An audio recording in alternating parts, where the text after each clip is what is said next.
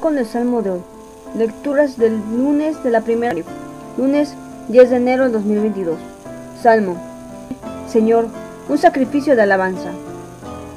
Como para todo el bien que me ha hecho, alzaré la copa de la salvación, invocando.